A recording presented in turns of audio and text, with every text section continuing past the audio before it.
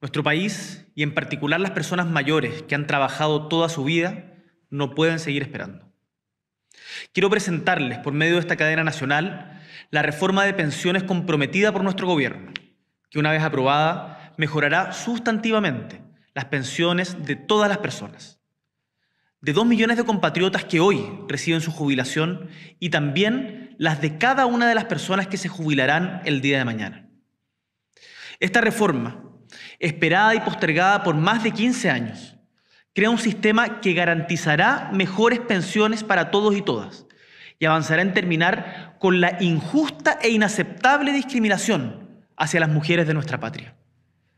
El actual sistema de pensiones está en crisis y eso nadie lo pone en duda. Las pensiones de hoy no alcanzan para que nuestros padres, madres, abuelos, abuelas sostengan una vida digna en su vejez sin importar cuánto trabajaron durante su vida. En Chile, el 72% de las pensiones son inferiores al salario mínimo y uno de cada cuatro jubilados recibe una pensión que está por debajo de la línea de la pobreza. Esto ocurre al mismo tiempo que las AFP perciben tremendas utilidades, aunque los resultados y la rentabilidad de los fondos sean negativos. Esta injusta realidad no va a cambiar hasta que seamos capaces de ponernos de acuerdo para entregar las soluciones que exige y merece el pueblo chileno. Ya han habido dos intentos fallidos durante los últimos años y la ciudadanía no perdonará un nuevo fracaso de la política. Insisto, no tenemos derecho a seguir haciéndolos esperar. No es aceptable. Por cierto, no estamos partiendo de cero. Han sido años de debate y discusión donde el diagnóstico, como vimos, ya está claro.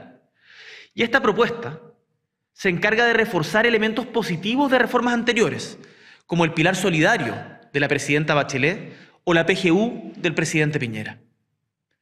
Ya lo he dicho antes y lo repito hoy. Es la seguridad en todas sus dimensiones la principal prioridad de mi gobierno. Y esta reforma en particular es central en nuestra tarea de entregar certezas y garantizar seguridad social a todos nuestros compatriotas. El gran objetivo con esta reforma es subir el monto de las pensiones en cuanto esta sea ley.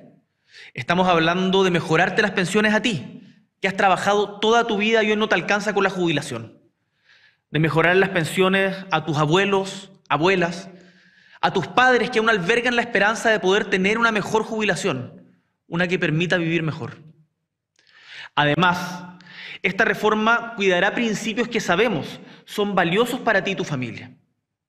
En primer lugar, se reconocerá y premiará el esfuerzo del trabajo a lo largo de la vida.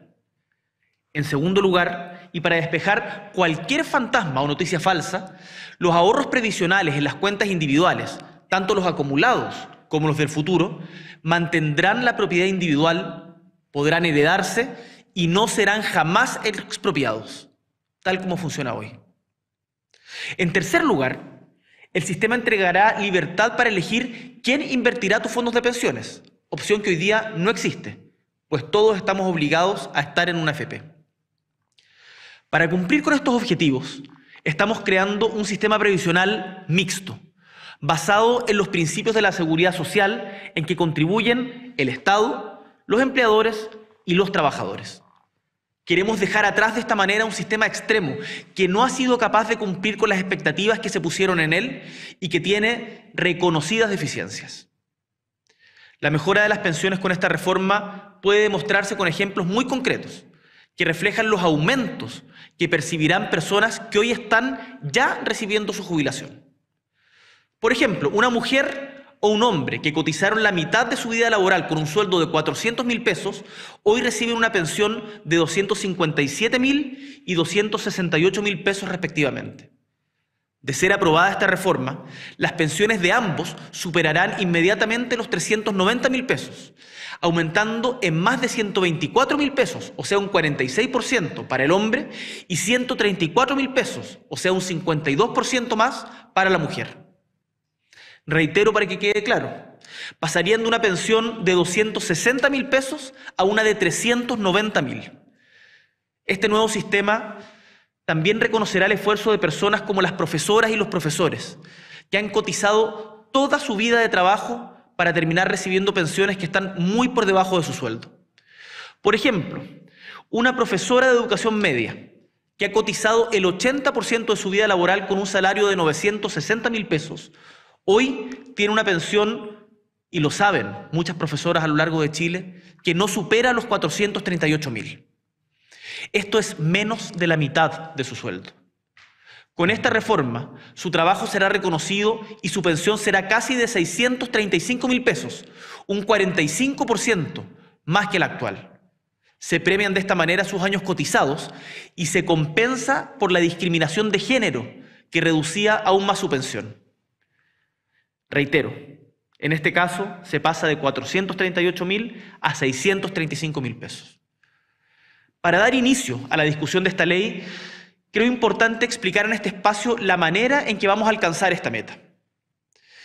A pesar del aporte que hoy hace la pensión garantizada universal, nuestro sistema de pensiones actual está basado casi exclusivamente en la capitalización individual y ha demostrado ser tremendamente insuficiente. Más que tener un sistema de seguridad social, lo que tenemos hoy día en Chile es un sistema que administra tus ahorros y donde cada uno se salva como puede. Pero en la vida, y particularmente en los tiempos que corren, todas y todos estamos expuestos a imprevistos o situaciones que nos obligan a cambiar de rumbo, a recibir menos ingresos temporalmente o a dejar por un tiempo el mundo del trabajo remunerado. Así le pasó a miles de chilenos y chilenas durante la pandemia. Pregúntense en sus casas, sus amigos, sus familias, ¿cuántas mujeres han debido renunciar a sus trabajos fuera del hogar por años para dedicarse al cuidado de los hijos o padres? ¿Cuántas personas han tenido que poner en pausa o reducir su ritmo laboral durante un periodo para recuperarse de una enfermedad o de la pérdida de un ser querido y así recuperar fuerzas para volver a trabajar? Quienes se enfrentan a situaciones como esta merecen que la sociedad y el Estado los proteja, que no los abandonemos y que les devolvamos la mano por el aporte que todos los días hacen al país. Es por eso que esta reforma crea un nuevo seguro social que será financiado a través de una cotización a cargo de los empleadores, que aumentará gradualmente hasta llegar al 6%, mejorando de esta manera las pensiones de todos y de todas. También nos permitirá cubrir las lagunas previsionales o de cotizaciones de quienes quedaron desempleados o debieron dejar el trabajo para que esto no afecte su pensión en el futuro. Este nuevo seguro social reconocerá el trabajo en labores domésticas y de cuidados. Labores que en Chile, sabemos, recaen principalmente en las mujeres y que actualmente no son reflejadas en el monto de sus pensiones. Se incrementará de esta manera la pensión en casos de maternidad, de las mal llamadas lagunas y de los cuidados. Hoy, una mujer que ha trabajado y ahorrado exactamente el mismo monto en su AFP que un hombre recibe una pensión más baja ya que su esperanza de vida se calcula de manera distinta.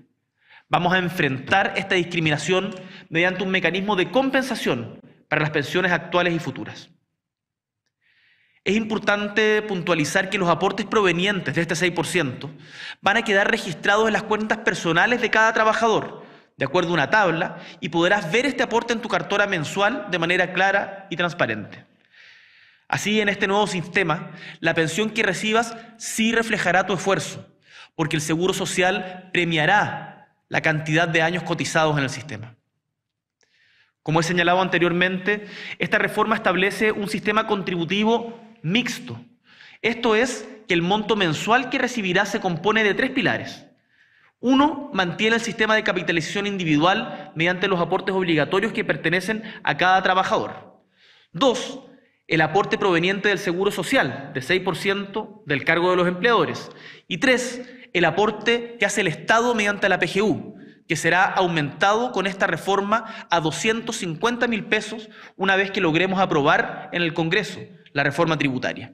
Por eso es tan importante que el Congreso apruebe la reforma tributaria que está hoy en discusión y que nos permite atender y resolver tus necesidades más urgentes y las de tu familia. Durante los últimos años ha existido un largo debate sobre las FP. Las chilenas y chilenos están cansados de las comisiones abusivas y las pérdidas que genera el sistema actual. Las FP en esta reforma se terminan.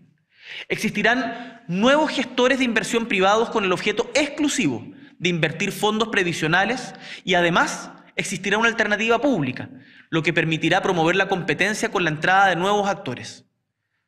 En esto quiero ser muy claro. Esto fortalecerá la libertad de elección de los afiliados.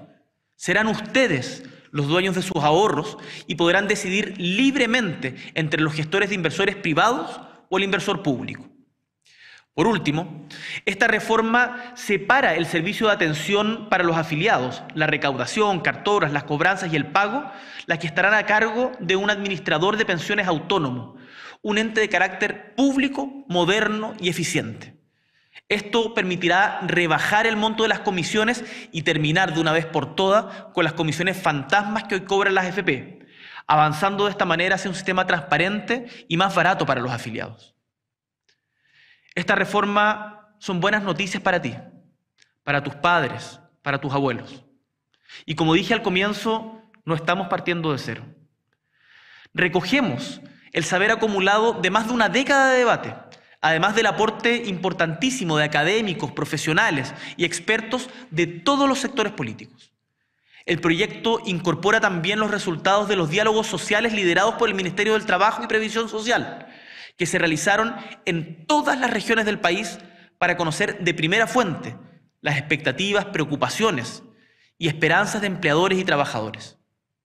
El resultado ha sido un sistema en el que se combinan componentes de seguridad social y de capitalización individual para, lo más importante, generar mejores pensiones, lo que nos va a acercar a la gran mayoría de los países de la OCDE, donde los sistemas contributivos mixtos tienen buenos resultados. Cuando presentamos esta reforma, pienso en Betsabé o en Violeta, a quienes conocí hace pocas semanas en Calama, o a la señora Nena de la Granja, o a don Jorge de la comuna de Rengo. Pienso en cada una de esas personas mayores que me han estrechado la mano con fuerza y me han dicho lo que hoy todos sabemos, que las pensiones tienen que mejorar ya y que basta de peleas políticas. Es que son millones de compatriotas quienes ven como años de esfuerzo no se ven reflejados en el monto de las pensiones que reciben y se ven obligados a seguir trabajando más allá de su edad de jubilación, más allá de lo que el cuerpo da. ¿Cuántas chilenas y chilenos no tienen otra opción que salir a vender a las calles para complementar las pensiones de miseria que hoy reciben? ¿Cuántos dependen de la ayuda y capacidades económicas de sus familias para costear algo tan básico como sus medicamentos? Estas situaciones son una tragedia no solamente para quien las vive y su círculo familiar, sino que para la sociedad completa.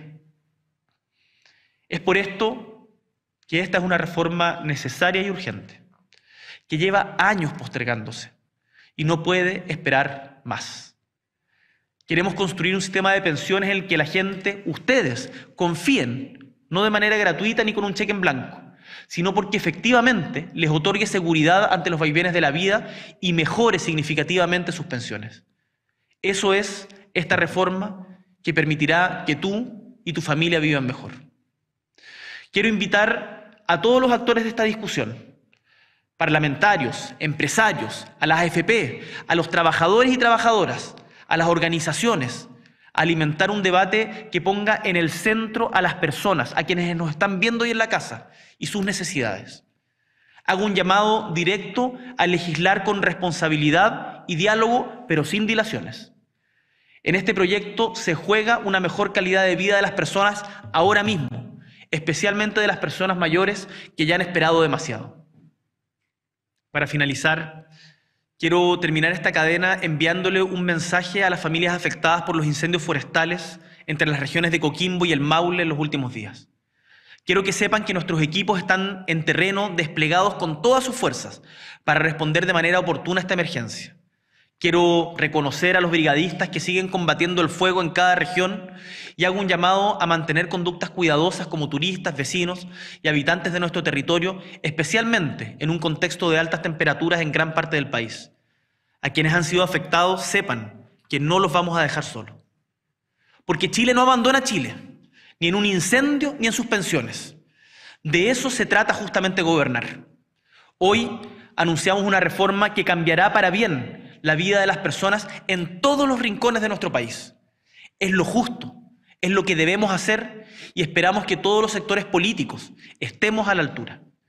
Espero que así como en el pasado hemos visto división, hoy seamos capaces de construir un consenso que beneficie a todas las chilenas y chilenos. Veamos unidad, empatía, sentido de justicia y cariño por Chile. Seguimos trabajando por ustedes y con ustedes.